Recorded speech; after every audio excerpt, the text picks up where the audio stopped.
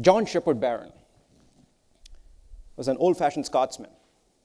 About 50 years ago, one afternoon, he felt the need to get some cash. He went to the local bank, and the bank had just closed for the weekend. And he requested the manager to reopen the bank so he could get some cash because he had to put it in context. Think about 50 years ago. What can you do without money in hand? And the manager refused to open the bank despite John Shepherd-Barron's pleas. So he was obviously frustrated. He was a dyed in the wool engineer. He really needed to change the situation because he was frustrated by the fact that he could not get hold of cash from his, his own bank account. and that had a significant impediment to his weekend plans. So, what he did was ultimately, over the years, created the automatic teller machine, which we now take for granted as the ATMs pretty much everywhere. The ATM technology, as you can think of, it's just a, you know, it's sitting in a hole in the wall and has dramatically transformed modern commerce. It has empowered people from all parts of the world to get or to gain access to their own resources at their convenience, at any point in time, at any location in the world. And it is seamless, it's interconnected. It, over time, it got married to enormous security technologies, fantastic telecommunication technologies, wonderful instrumentation that are offering us new capabilities. If there is a suspicion of uh, some fraud, you get an alert. These are re- results of iterative, disciplined, continuous improvements. That is an overarching principle in engineering design. But ATM is ATM. We can call it a hardware that is coupled with numerous software technologies and communication technologies. But let's think about the technology that has no form or no shape, that connects us all in a phenomenal way, in an unusual way, in an extraordinary way. We give it a name called Internet. This is what The Guardian talks about the Internet. The Internet is so vast and formless that it's hard to imagine it being invented. It's easy to picture Thomas Edison inventing the light bulb because a light bulb is easy to visualize. You can hold it in your hand and examine it from every angle. The internet is the opposite. It's everywhere, but we see it only in, in glimpses. The internet is like the Holy Ghost.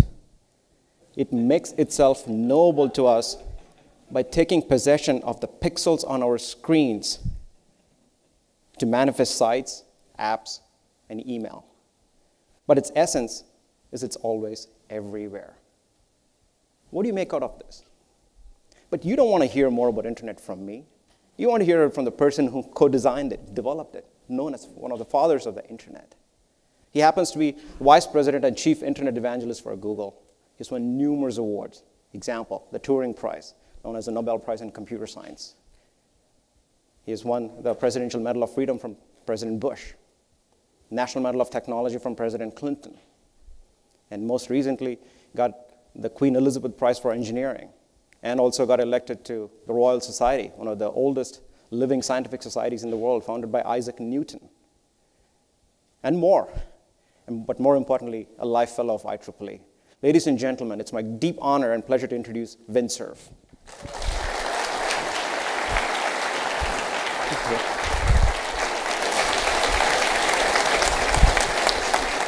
Good morning. Well, thank you very much. I always get nervous when people clap before you said anything. It feels like you should just sit down because it won't get any better than that. Uh, first of all, I, uh, what is it that they say? Of all the introductions I've had, that was the most recent.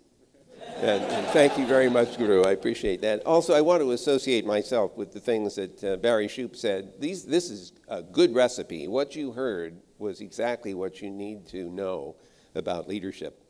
But I'd like to spend this morning talking about risk and innovation. Actually, now that I think of it, this Holy Ghost uh, model is, I hadn't thought about that. My title at Google is Chief Internet Evangelist, so somehow that matches up pretty well. I didn't actually ask for the title. When, when I joined the company almost a decade ago, or a little more than a decade ago, uh, they said, What title do you want? And I said, How about Archduke? and there was this pause.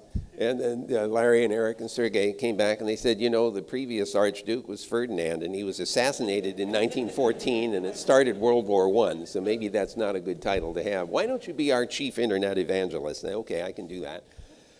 All right, so uh, do I have a clicker or is somebody going to change the slides for me? Or do I go, woo, like that? It didn't work, so I'm assuming there's. No. There it is the magic man with the controls. There we go. Let's see what happens. Nothing happens. Nothing happens. Oops. Something happens. Okay. All right. Good. And now the slide disappeared. this is almost as good as finding the power strip with it plugged into itself. You know. all right. Let's. That's you know perpetual uh, mumble why does this thing keep disappearing? Is this a, a, design flaw? What happens is the slides come and go, basically. All right, well, I'll look back there if I have to. So let's talk a little bit about the atmosphere that allows for innovation to happen. And the first thing is the freedom to fail.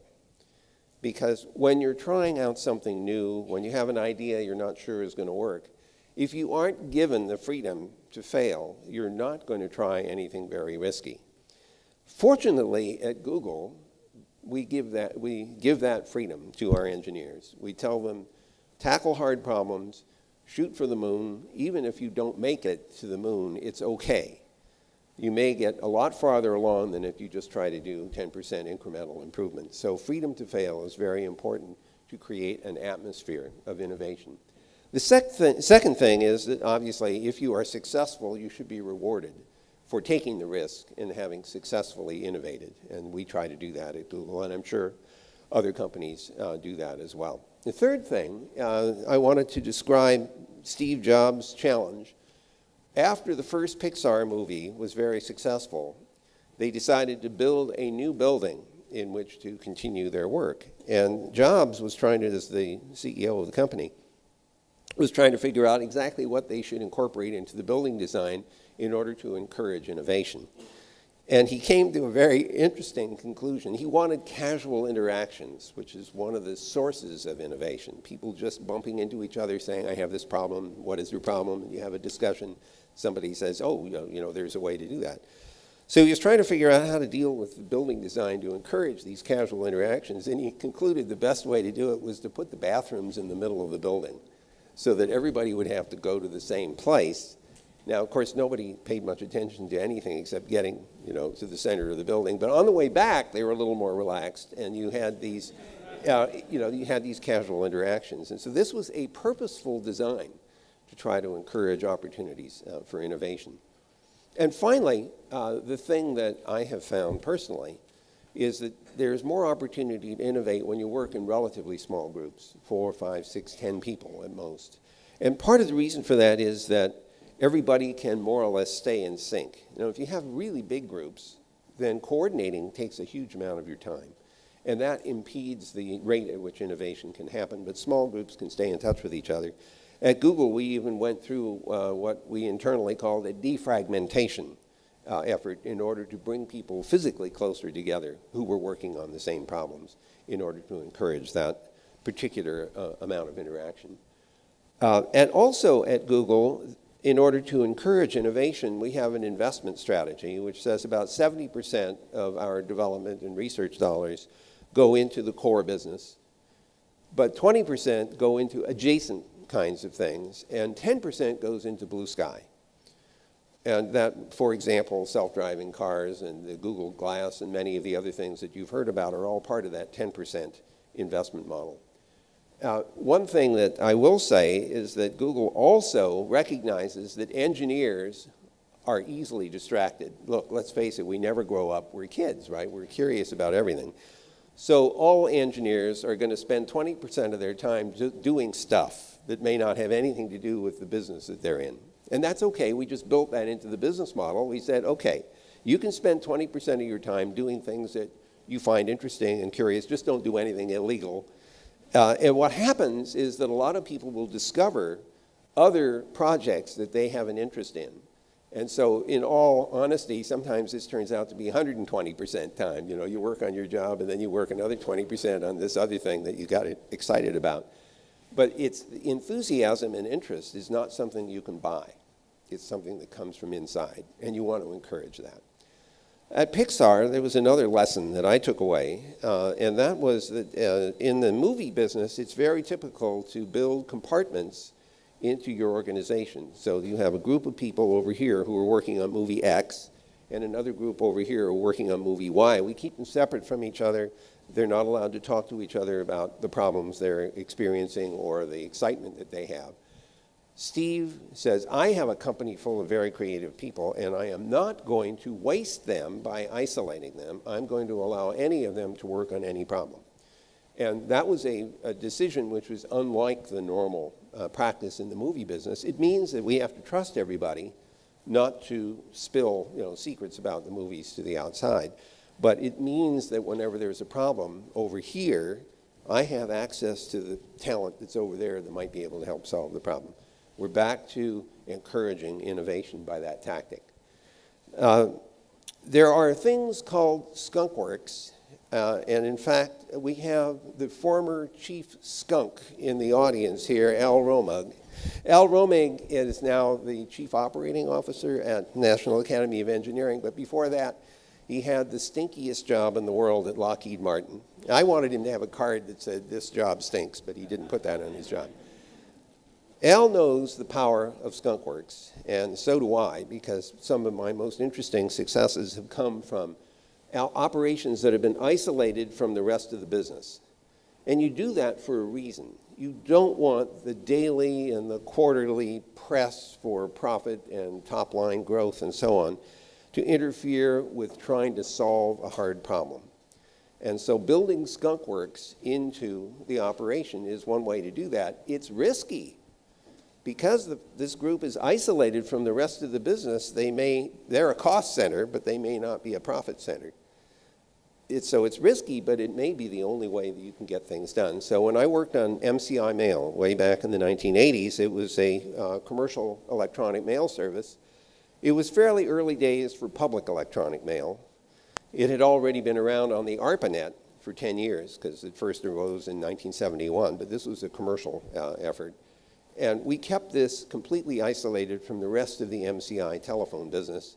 And although it wasn't a huge uh, business success, it was really an interesting technical uh, success, at least as I see it, because not only did we allow the MCI mail system to interact with any other email system around, but we also allowed for faxes, telexes, and postal addresses in the email. So you could actually send a message to someone with a postal address, and we would print it, put it in an envelope, and mail it if the party didn't have email. Now, back then, 30 years ago, not everybody did have email. So that was an interesting thing. ARPANET itself was a kind of skunkworks operation. It was originally um, developed because ARPA, the Advanced Research Projects Agency, was supporting research in computer science and artificial intelligence. And they had about a dozen universities doing this work. And the, the uh, universities, each of them, would say every year, you need to buy us another world-class computer so we can do world-class research. And even ARPA couldn't afford to do that way back in the 1970s when machines cost many millions of dollars. So they said, we're going to build a network and you can share your resources. Everybody hated that, but we said we're building the network anyway. And oh, by the way, we're going to test a new technology called packet switching, which you know the uh, run-of-the-mill telecommunications people said wouldn't work. So ARPA said, you know, we're going to build this anyway. We invited AT&T to join us in the research. They said it won't work, so we're not interested, but we'll lease you telephone lines so you can build your stupid network. So they did, and we did, and it worked. So ARPANET is another example of the skunkworks. Uh, and certainly the work that goes on uh, at Lockheed Martin at its uh, skunkworks uh, in California produced some of the most innovative aircraft ever built. So let's talk a little bit about technical design and innovation. Uh, one thing, which uh, you may have heard the term the rise of the stupid network. Uh, the internet is really a stupid network when you think about it. The internet layer of protocol, the thing that binds everything together, doesn't have a clue, or the packets of the internet protocol don't have a clue about how they're being carried. They don't know whether they're being carried over a satellite link, an optical fiber, or a radio channel. and they don't have to know. That was a really important design decision. So when new technology came along to do new transmission things, we could just plop the internet protocol on top of that. So when Bob Kahn and I were doing this work, we consciously said, don't allow the internet protocol to know anything about how it's being carried in order to make it future-proof to some extent. Uh, and that was important. The other thing that, that these packets don't know is what they're carrying. It's like a postcard, doesn't know what you wrote on it. So the internet packets carry a little bag of bits from point A to point B with some probability greater than zero. That's all we ask of it. Uh, and so that means some packets get lost, some, some of them get duplicated, somebody at the higher level of protocol, like TCP, has to sort all that out. But the whole idea here was that if you had a new application, you didn't have to change the network because the network didn't know anything about applications. It has no idea what the bits mean. It's the software at the edges of the net that determine what those bits mean, and that means you can add new applications whenever you want to. And that uh, is a source of what I call on this slide permissionless innovation. You didn't have to go and get permission from all the ISPs in the world or change the network in order to introduce a new application. And that invites uh, the kind of uh, innovation that we've seen over the last 35 years or so. Uh, the same thing can be said for mobiles. Uh, some of you may know that uh, internet was originally designed in 1973. What you, some of you will surely know is that the Motorola uh, mobile phone was also invented in 1973 by Marty Cooper. And I didn't know anything about his work in 73. He didn't know anything about the internet either. But in 1983, we both turned our systems on. Internet was turned on January 1st, 83, and somewhere in 83, Marty Cooper gets the first handheld uh, mobile phone in operation for uh, Motorola. And uh, in 83, I learned about that uh, and from a friend of mine who invited me to lunch. And uh, I came over and he said, I have something to show you. He pointed at the table, and there's this thing sitting on the table. I said, What's that? And he said, It's a phone. And I said, Where are the wires? And he said, There aren't any wires. It's wireless. It's, you know, it's about this tall plus a whip antenna. And so I started asking him questions about it. And uh, he said, I don't know, why don't you call the guy that invented it? So I called Marty Cooper on the mobile phone. And I said, Hey, Marty, you know, how does this work? In, in the course of the conversation, I said, uh, How long does the battery last? And he says, About 20 minutes. But it's okay, it weighs three and a half pounds. You can't hold it up longer than that anyway. So, so it's you know, carefully structured. So these two things, though, these the mobile phone and the internet, didn't really come together until Steve Jobs came along in 2007. I, I, may be insulting Nokia a little bit here because they had some pretty innovative feature phones. But really, the smartphone shows up in 2007, which, by the way, is less than a decade ago, if you can believe that. I mean, that is really hard to realize that we have become so accustomed to these devices in less than a decade. But what's interesting about the mobile phones is that they have an application programming interface, typically for iOS and for Android. If you're an application writer, you don't have to know how the mobile phone works. You just have to know how to push things in and out of that API. That isolates you from a lot of detail and allows you to innovate in the space uh, at a higher level of abstraction. That's the power of layering in architecture, and that's one of the reasons internet and mobile phone technology and maybe other technologies that you're going to invent uh, will make so much progress because you isolate people from having to know too much. Uh, finally, I want to mention standards and interoperability. IEEE and the Internet Engineering Task Force are key places where standards are made. Some people will tell you standards are stifling of innovation. And there are certain circumstances where that could, could, happen. I mean, if you had a really crusty kind of standard and everybody had to stick with it and it was costly to implement and it wasn't malleable to doing anything new, it might indeed stop you from innovating. But on the other hand, well-fashioned standards allow you to interwork with other people without having to have a negotiation. Imagine trying to negotiate standard agreements between a half a million ISPs. I mean, do the n squared over 2 number. Standards eliminate all that by saying let's all agree to, on something in common which allows things to interwork. So when I invent a new application, it has a high probability of working with all those other things that are out, in this case, on the internet. So standards are really important because they confer interoperability without having to have these bilateral negotiations. What about the role of government? Government normally is thought of as a large, uh, slow-moving, and not necessarily very, very intelligent object.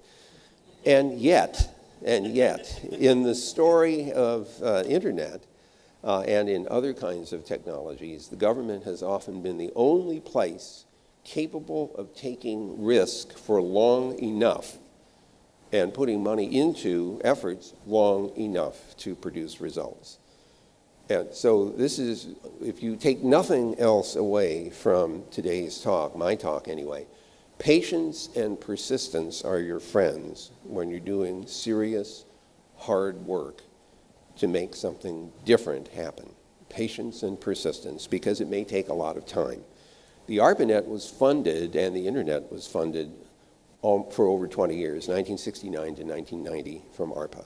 The National Science Foundation started its work in the early 1980s and funded the NSFNet until 1995 when it bravely shut the network down. Why did it do that? They concluded that the universities, 3,000 of them that were connected with the National Science Foundation network, didn't need that network anymore because there were commercial networks in operation. They could buy the service.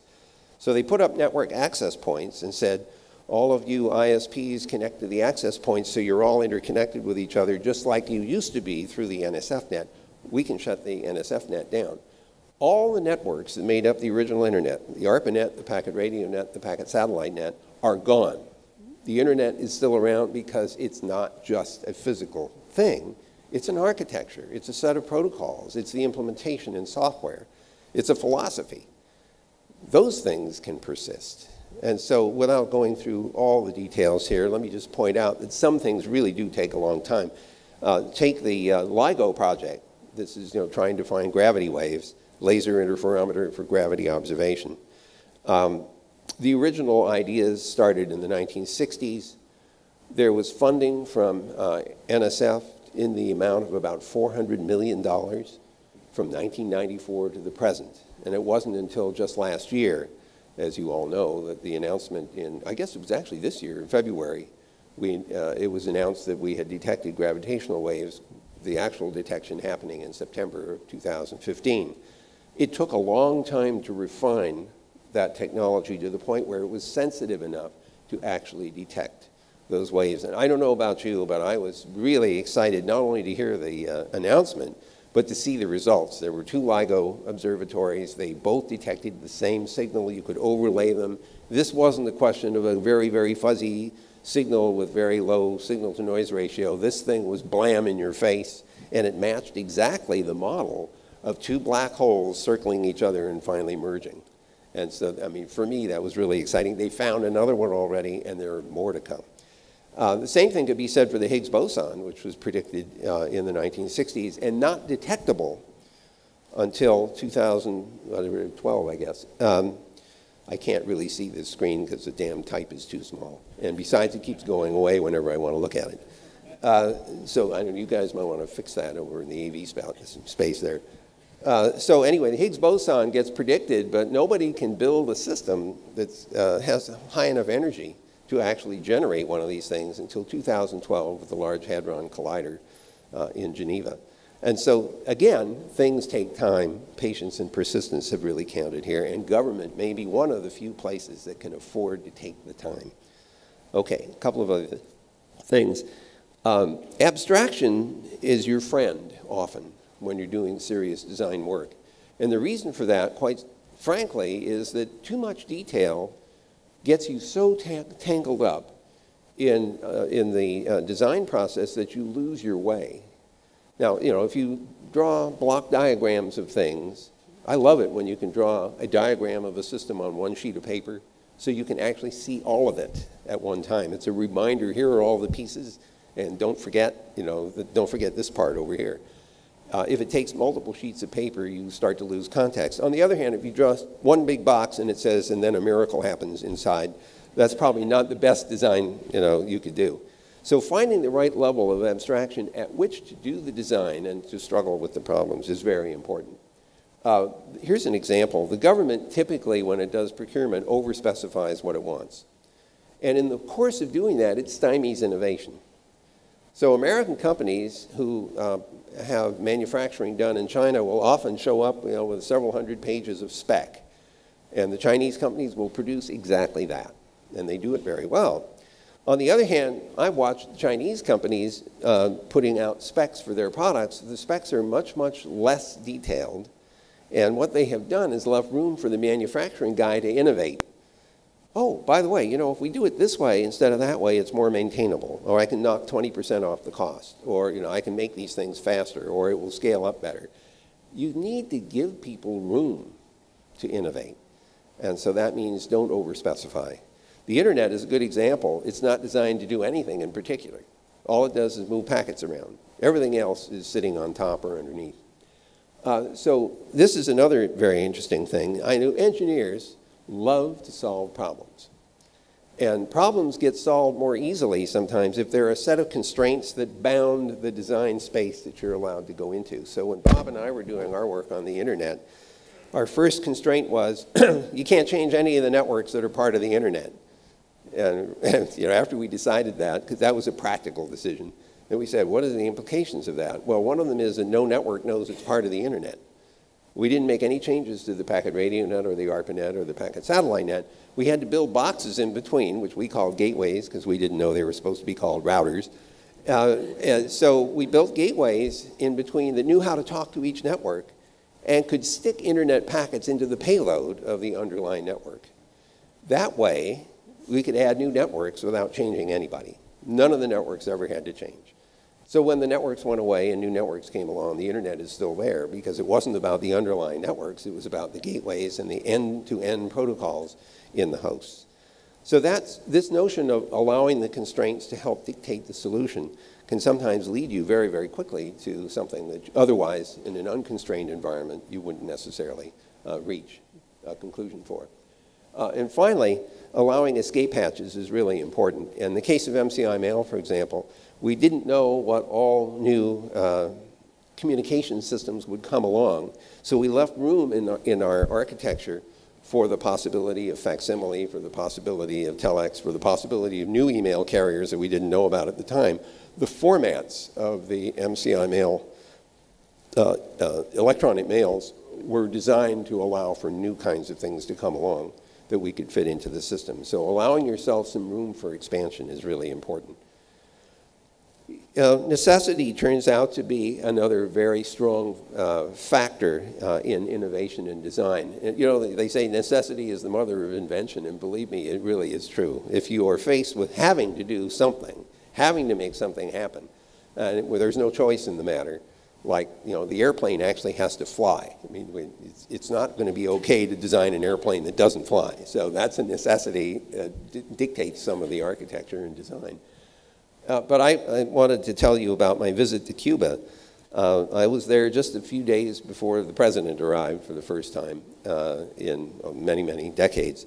And what impressed me more than anything is that our Cuban colleagues have been faced with a lot of limitations. They didn't have access to a lot of American technology because of the embargo that we had imposed. Uh, and so they had to make do. Sometimes they got access to technology from other companies, but sometimes they just had to make it up as they went along. And I, I don't know about you, but I'm a, uh, uh, an old car. You know, I'm not a buff exactly, but I appreciate old cars. So by the time I got to Cuba, I was having a cargasm every two blocks because I was seeing these old 1950s cars roaming the streets like dinosaurs. And, but what was important is after I got a chance to go talk to somebody who had one of these, and I said, What's under the hood? And of course, what's under the hood is a Toyota engine or something in a 1958 Ford uh, Fairlane. These guys managed, in spite of everything, uh, to innovate their way uh, along, uh, trying to keep things in operation. And I was very impressed by that. The other thing which impressed me is that uh, they are the first, they were the first country to have a National Academy of Science in the Western world. I didn't realize that until I met with the head of the National Academy of Science there. Uh, another thing that is very noticeable is that they have a very, very good medical system there. When I was visiting in Jamaica a few weeks later, I was told by the Jamaicans whenever they have a medical problem, they look for a Cuban doctor because they're really good. And so I'm hoping as this embargo situation goes away that there will be a lot of interaction. I'm pretty sure that Cuba is going to represent a very important spot of innovation in the uh, Western Hemisphere. Uh, they also made heavy use of open source software for obvious reasons because it was available. I was sitting with the president of one of the universities, UCI, who was giving me a presentation. There was a big display at one end of the table, and she had a little uh, Android uh, pad in front of her, and every time she went like that, the display over on the big uh, LG was changing. And I said, That's cool, there are no wires. She said, No. And I said, Well, how did you do that? She said, Well, uh, you know, it's just an app that we built for Android. And so my first reaction was, Can I have a copy of that? Because where I am, all these damn wires are everywhere, and I hate them. Cables and connectors, you know. We should, uh, now I'm waiting for some of you to deal with the wireless power, please, so we can get rid of these other damn things. Okay, one other thing which really stunned me. I went to a really nice restaurant, and as we walked down the restaurant, there were toilet bowls filled with flowers. And, you know, well, they didn't have anything else, so that they innovated and turned them into flower pots. So I was impressed simply by the role of necessity in helping them innovate. A couple of other slides, and then we'll finish up. Um, asking the right question turns out to be another key to innovation. Peter Diamandis runs the X Prize uh, organization, and you know that that's the one, like, for example, there's a $30 million prize for a uh, non government sector uh, organization to return to the moon, get a rover to go, whatever it is, 250 meters, and send data back. The idea here is a well defined project that has a well defined target. So you could say, yes, they made the target, or no, they didn't, is really important. And so that was asking a question in a form that people could address in a very direct way with a motivation to win the prize. Uh, another thing which uh, I think is important about uh, answers, anyway, is to get the right level of abstraction. I mentioned that earlier. Uh, if, it's, if it's too general, you don't get any good answers at all. If it's too complex, if it's too detailed, uh, the answers are not very clear. Uh, those of you who spend a lot of time with math, and I would assume most of you do, uh, you'll notice that sometimes problems expressed in one coordinate system look a lot easier when they're in another. So, you know, Cartesian coordinates, x squared plus y squared equals z squared, is horrible sometimes to work with, but then when you go to uh, polar coordinates, suddenly it's much simpler and the solutions just leap out at you. So it's important to think your way through, can I represent the problem in a different way? Asking what if is often a really good tool for, uh, for innovation because you can ask things that don't exist now that maybe you don't even know how to do. But if you could do that, then what would happen? And sometimes discovering the answer to those questions motivates uh, new results. Uh, one thing I can tell you is how important it is for you. Most of you are younger than I am. That's true of almost everybody in the country these days. Uh, but what's important about being young is that you're often too young to know you can't do that. This happens me, uh, to me at Google all the time. I'll have people running up saying, why don't we do X for some value of X? And I'll think, oh, we tried to do X 25 years ago and it didn't work. And then I have to remind myself there's a reason it didn't work. And that reason may no longer be valid. I have had to rethink my positions many times in the last decade because young people have come up saying, why don't we do X? And I have to realize maybe doing X now is exactly the right thing to try. So you're lucky. And this last slide. Um, I wanted to talk about risk because sometimes people are reluctant to take risk, and I was one of them.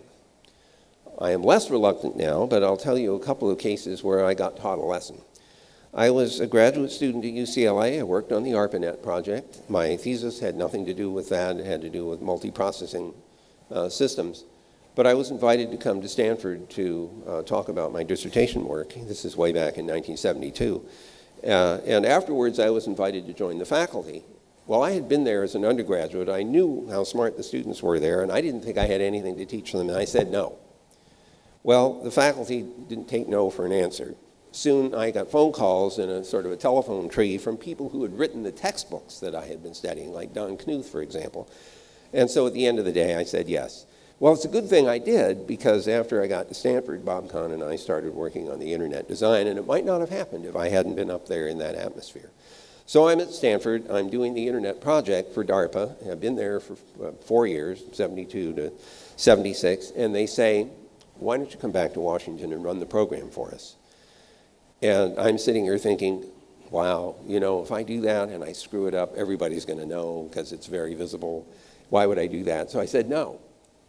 Well, they didn't take no for an answer either. Uh, Bob Kahn was already there. Steve Crocker, my best friend, was there, and uh, others called and said, you know, you can't say no.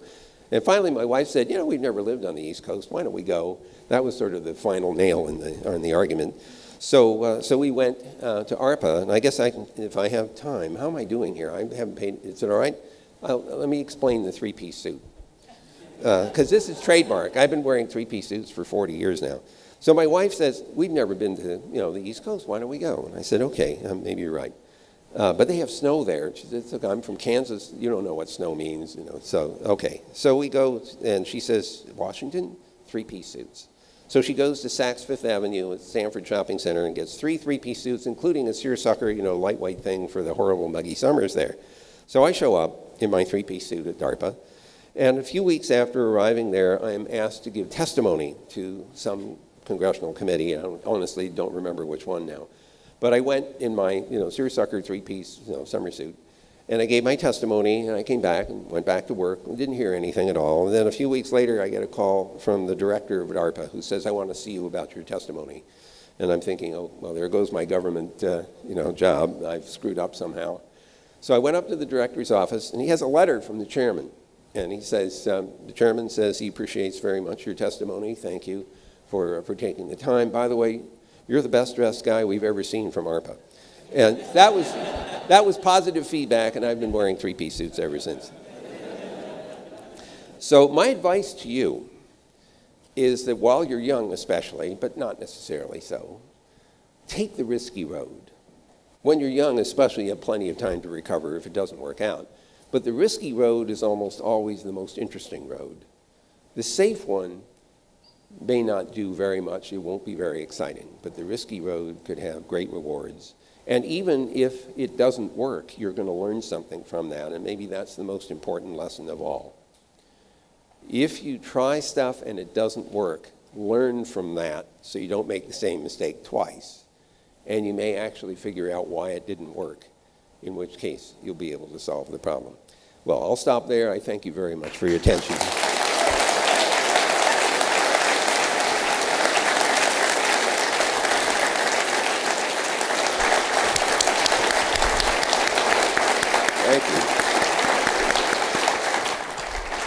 Thank you very much, man. That was fantastic. Uh, we'll entertain a couple of questions, and uh, there are two microphones here, so please line up if you have any questions.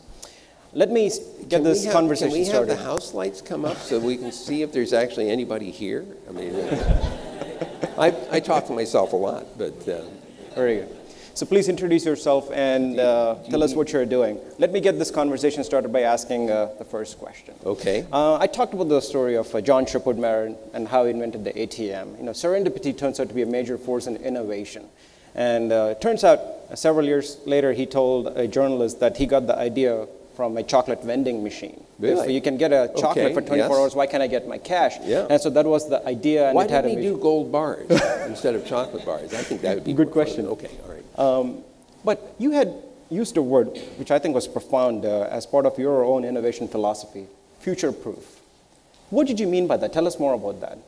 So, well, future proofing basically says you don't know what new technologies are going to come along. And even if you don't know specifically, you might know enough about the possible technology or its behavior to take that into account. And so, in the case of the internet, two pieces. One, we knew at the time, this is in 1973, that there would almost certainly be new ways of transmitting bits, new kinds of technology, microwave, you know, satellite links, optical fiber. Even then, optical fiber wasn't exactly on the radar screen, but, but we knew there would be new, new developments. That's what engineers do.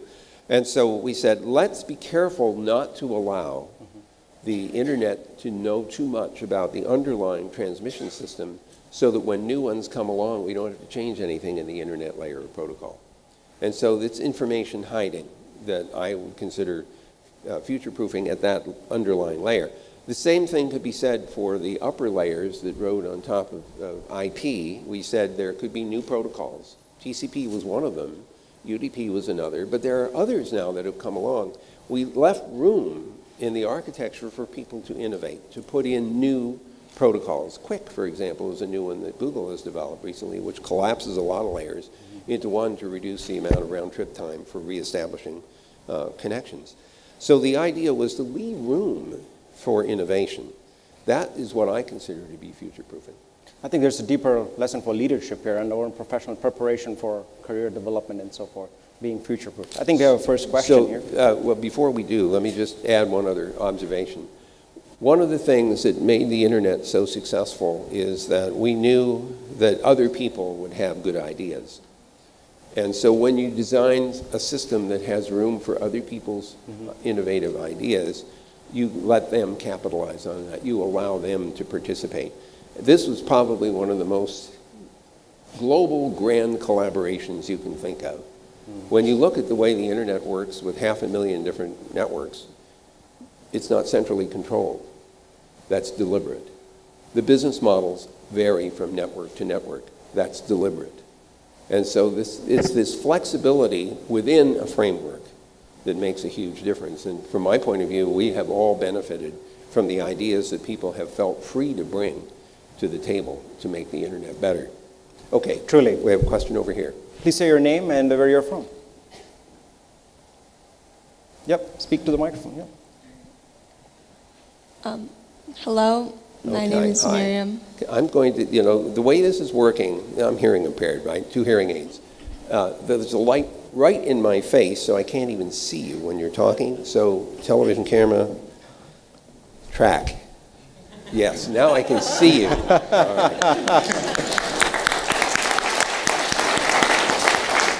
Hello.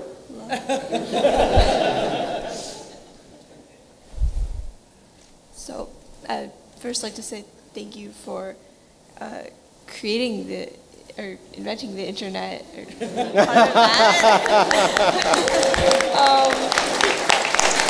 that, that has really changed the way we get information, and that's a big part of our culture now. So, um, so when you were inventing the um, inventing the internet, did you ever consider like how much of an impact you would it would have on our culture? And did you take that into consideration now like what the impact of your new inventions will be? So this is this is a really important question so thank you for asking that. And it's it's important for several reasons. The first one is that engineers should be attentive to the effects of what they do effects of their design and I will confess to you that Bob and I didn't know all the things that were going to happen with the internet. I wish we could. Sometimes Bob says, oh, you know, this whole thing is working exactly as planned. By the way, in about 15 minutes, the following thing is going to happen. It isn't that way. But I have to say that we recognized how powerful this could be. Because when we did the design, we, we were thinking globally. We were thinking an arbitrary number, unknown number of networks would participate. We even went through a little exercise and we said, um, how many termination points do we need? And uh, we said, well, let's see, how many networks will there be per country? And we thought, well, at least two, so there'd be some competition. because, well, we'd just done the ARPANET, and it wasn't exactly inexpensive to do that. And we thought, well, there'll be at least two global or two national scale networks. So then we said, how many countries are there? And there wasn't any Google to ask. So, uh, so we guessed at 128 because that was a power of two, you know, and that's what programmers think in. So we ended up with a 4.3 billion termination uh, address space, which we ran out of in 2011. Fortunately, in 1996, the IPv6 format came along uh, after four years of hard discussion, and that's 128 bits of address space. is enough to last until after I'm dead, then it's somebody else's problem. so, so uh, but we also had the benefit of several years of experience with ARPANET. So think about this. It's 1973. We're designing the internet. What do we have on the ARPANET? Well, we had uh, Doug Engelbart's online system. We had Mouse, and, and we had uh, Xerox PARC's example and SRI International's example of mice uh, portrait mode displays, point and click, hyperlinking. Okay, so we had all that stuff and several years of experience with it in 1973. Uh, we had the notion of personal computing, again, thanks to Xerox PARC. Ethernet existed a mile and a half from my lab at Stanford. Um, Bob Metcalfe and uh, David Boggs were inventing the first 3.3 megabit Ethernets. And so we actually had quite a bit of experience in, in terms of the sorts of things that we do today uh, back then. We couldn't predict everything that was going to happen, obviously. Now, of course, we see a global phenomenon. I was told by uh, Eric Schmidt, though, that I'm not allowed to retire. I said, why not? And he said, because you're only half done. Only 50% of the world is online. You have another 50% to go. So I could use some help. Uh, so the answer is that we didn't know everything, but we had a pretty good idea this is going to be powerful stuff. By the way, that was Miriam. She's a high school student from Boston. A round of applause for her. She's the youngest participant in the Future Leaders Forum. I see there are six people waiting to ask questions, and I was wondering if we could maintain it tweet sized so that we can be efficient with the timing Because here. we got several. Okay, here we go again. It's gonna be difficult. I don't have a Twitter account, so uh, let's do that. Uh, okay, so my question is on basically your presentation. How are you so good at it? Like uh, you were making us all laugh. You were making us all laugh while talking about such complicated projects as like Lockheed or ARPANET and things that have innovated, well, affected the whole world, and are highly technical. How do you, how did you, as an engineer, as a person with a background of technical knowledge, make that switch and presentation to the crowd? Yeah. Yeah, this is actually another really important question. When my engineers sometimes ask, you know, how can I be effective? The answer is learn how to sell. Sales is about getting other, your ideas in other people's heads. And so finding ways for them to grasp the ideas. So I use a simple metaphor for internet. It's postcards. Everything you know about a postcard is true of an internet packet, right? It, it has a to address and a from address, and it has some content. The postcard doesn't know what you wrote on it, neither does the internet packet. Put two postcards in the post box to the same destination. They may not come out in the same order you put them in. They may not come out at all. Uh, you know, it's a, it's a, it's a, you know, best effort system. Of course, in the internet, if you put in a packet, sometimes you get two because it got duplicated from alternate routing. And there's, you know, there are other analogies here, but it helps a lot. So metaphors are your friend. And lest you disparage marketing and sales, remember that if they are not successful, you won't get paid. And so you want your, your uh, sales team to be successful. We'll go over here. First of all, I'd like to shake your hand. Hi. I worked at WorldCom as well. Ah, wow. Oh, I hate that word. But the technology is right. great with UUNet. Um, My question is, um, as a visionary, uh, where do you see the internet going, especially as it's related to software-defined networking and virtualization, and also with cybersecurity? You talked about the postcard, and anybody could read that postcard, and there's, you know, a lot of different faults with security. Wow, okay. And we're trying to overcome those, so I'm just curious of your thoughts. And, and, you know, I'm supposed to have a tweet-sized response to uh, the toughest questions. Of, all right. Three, three points. First of all, those are all very good questions. Uh, with regard to where the internet's going, it's clear that we have higher speeds, more radio-based stuff, uh, more uh, fiber networking and things like that. Uh, with regard to software-defined networking, I find that a weird term because it's really all software. It's always been software. It's software in the routers. Uh, and there's some hardware for speed up. Uh, but the virtualization is a trick that the computer scientists have used forever. When they run out of real stuff, they virtualize it, right, like virtual memory. And that's kind of what's going on here. It gives you much more flexibility because now you're operating at a layer where you have something to say about the scope and scale of the, uh, and the way in which these virtual routers actually function. So you're, you are removed from some of the hardware dependencies that you would otherwise have.